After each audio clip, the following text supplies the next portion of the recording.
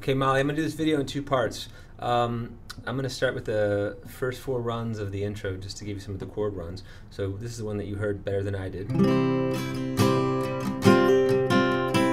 So the, the way to strum it with a full strum that feels kind of natural and rhythmic is so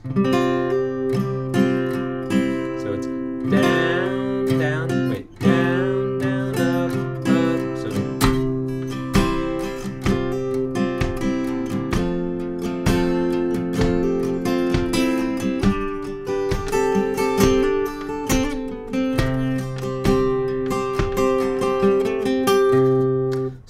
that's one way to do it. Now on the D, I noticed that the run is a little longer than I thought. So it's a D sus. And you can do a little hammer off on the G string, pinky, open G. It's quiet in the recording, but it's standard, but it's like. And then here she does a little run starting on the D string that goes O to G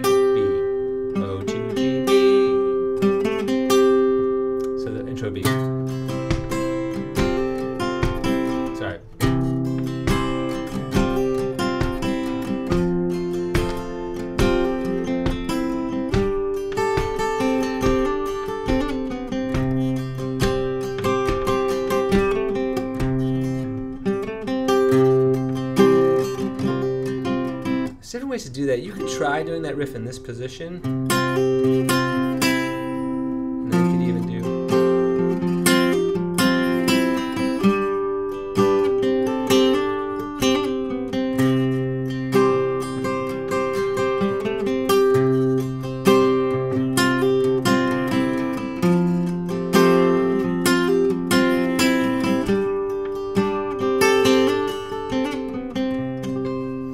Digress a bit on that. Um, okay, and then um, a couple of the Harrison tricks that we talked about. So Harrison, I think was capoed here. Um, C over G is just a C chord with your usually with your ring finger on the that low G. This is the simplest, lightest one. This is the chunky one when you want a big, broad sound. This is um, a, a thinner, kind of sweeter sound. Oftentimes with the pinky here because you're coming from a G. So in the Harrison song, when you're doing it.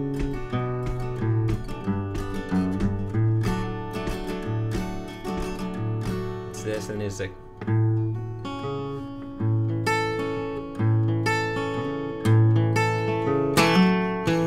So that's.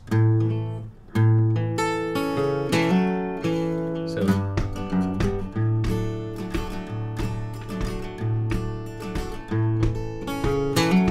Again. Uh, that's the trick on that tune.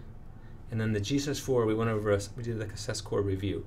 So um, the simple susses are D, 4, 2, A, 4, that was sloppy, 2, and E, sus 4, no good sus 2.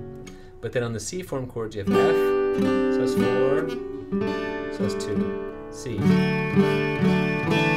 G is the only one we have two options for a sus4 because you have two Bs. So you have a B on the A string and the open B. So either one can go up to 4. That's the low one or the high one.